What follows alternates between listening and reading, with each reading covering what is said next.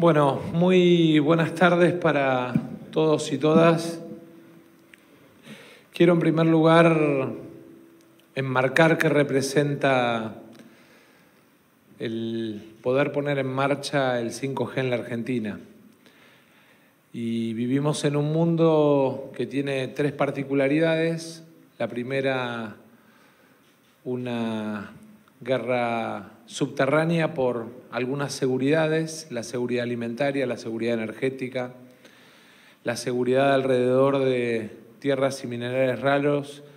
y el combate o la disputa alrededor del capital humano y el conocimiento. Y estas dos últimas están muy asociadas a la revolución de la tecnología, el conocimiento y la información, de la que todos nosotros somos convivientes y que al ser convivientes la vamos administrando sin por ahí darnos cuenta de los cambios sociales, culturales, económicos en el proceso de producción que vamos viviendo. La conectividad es parte de la revolución por la tecnología y por la información que vive el mundo. La conectividad es parte por la disputa de los próximos cinco años en la venta de capital humano, en la disputa global económica.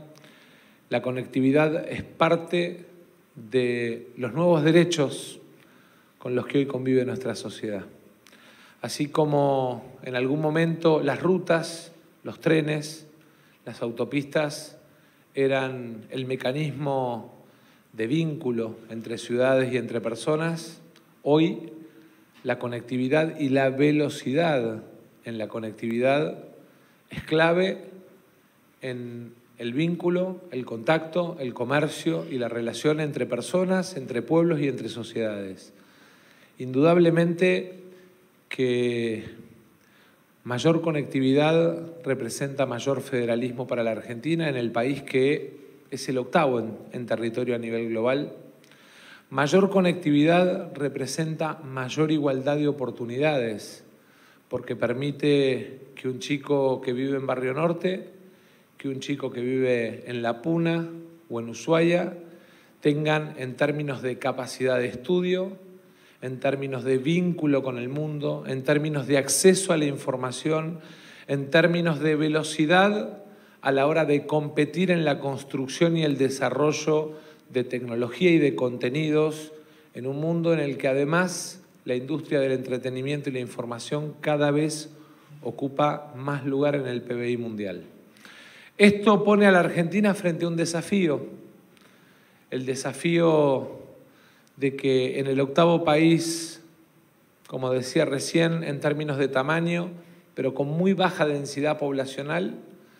podamos acceder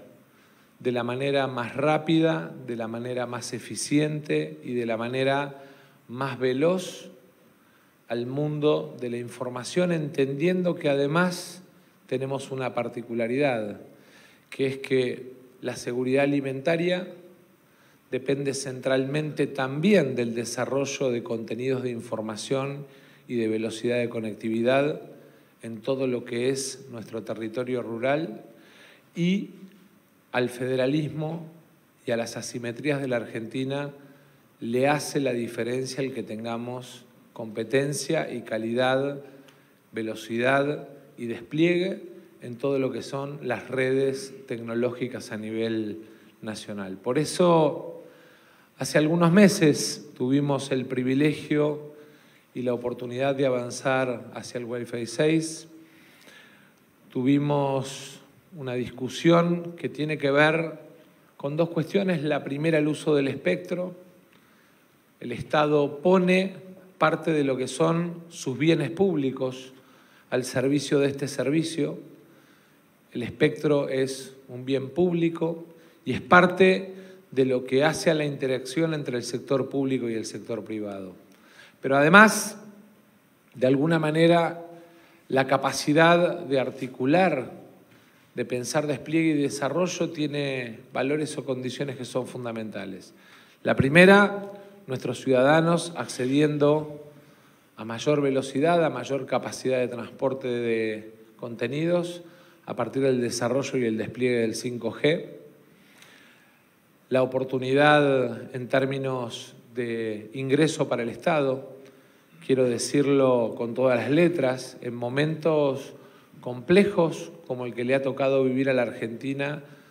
que ha enfrentado este año la peor sequía de su historia, el ingreso de casi 900 millones de dólares en los próximos 21 días como parte del pago por uso de un bien público que hacen las compañías telefónicas, es muy importante en términos fiscales, a los efectos de garantizar cumplimiento de metas de orden fiscal, es muy importante en términos de valoración de lo que son los bienes públicos y también es muy importante en términos de confianza por parte del sector privado en un momento en el que pareciera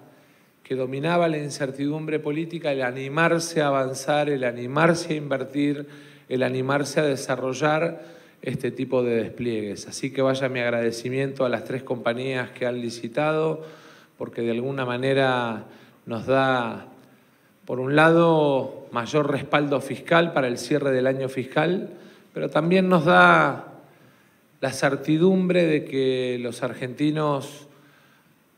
a la hora de tomar decisiones que son trascendentes podemos desapegarnos, desprendernos de la disputa electoral y mirar, y mirar el largo plazo como requiere una industria de estas características. Además, la oportunidad de poder avanzar en inversiones que son de magnitud. Esta es una industria de inversión intensiva, es una industria en la que la competencia por la tecnología es clave a la hora del servicio al ciudadano, es una industria en la que la competencia por el precio del servicio es uno de los valores más importantes que podemos tener, porque mayor conectividad a menor precio es mejor servicio más barato para el ciudadano y eso para nosotros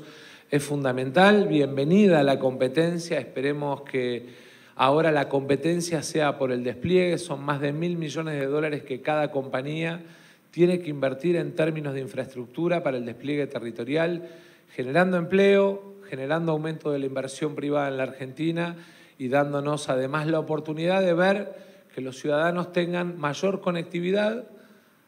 con mayor despliegue, con mejor servicio, con mejor tecnología, a un menor precio, como nos gusta a todos aquellos que creemos en la competencia, porque en definitiva lo mejor que puede pasar es que eh, en esa competencia virtuosa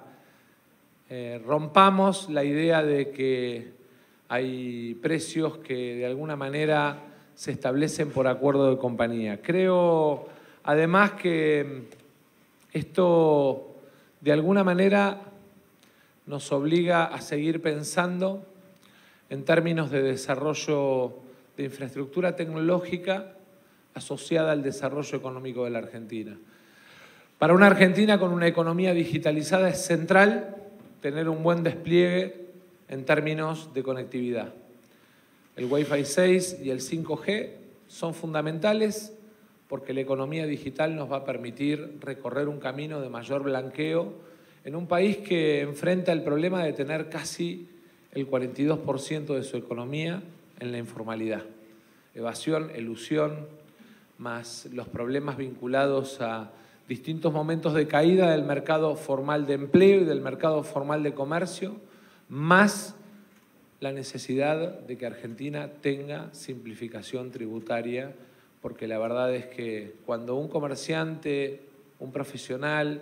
o un pequeño o mediano empresario tiene que hacer liquidación de 150 impuestos distintos, en realidad lo estamos condenando a enfrentar una maraña burocrática o peor aún, a eludir o evadir impuestos. Y creo que esa es una tarea que desde el 10 de diciembre tenemos que encarar todos juntos. Por último, y para también plantear los nuevos desafíos, creo que es clave que avancemos y rápido en lo que es la conectividad y los mecanismos de servicio satelital para aquellas ciudades rurales, para aquellas ciudades lejanas, donde desgraciadamente en la Argentina todavía tenemos problemas de servicio. Creo que es clave que además sigamos haciendo desde el Estado inversión en aquellos sectores donde sabemos que por oferta y demanda no alcanza para desarrollar infraestructuras. No todo lo resuelve el mercado. Hay temas en los que si el Estado no se hace de este tipo de recursos haciendo valer su bien público, los ciudadanos quedan abandonados a la buena de Dios. Y creo que es clave en ese sentido que sigamos adelante desde NACOM con la inversión en infraestructura para lo que son los barrios populares de la Argentina, en la inversión en infraestructura, en los anillos, de manera conjunta con ARSAT, en aquellos lugares donde claramente por volumen de, mercado a ninguna de las empresas del sector privado les interesa abrir competencia o aumentar inversiones. En ese sentido, recorrer el camino de entender que una sociedad se desarrolla porque la Argentina no es un país desarrollado, es un país en vías de desarrollo y una sociedad de desarrollo se desarrolla cuando tiene el perfecto equilibrio entre el desarrollo de un mercado con competencia y un Estado presente y eficiente compensando las falencias que de alguna manera aparecen en los mercados que no son suficientes para la competencia. Y en ese sentido, invitar al ENACOM y a la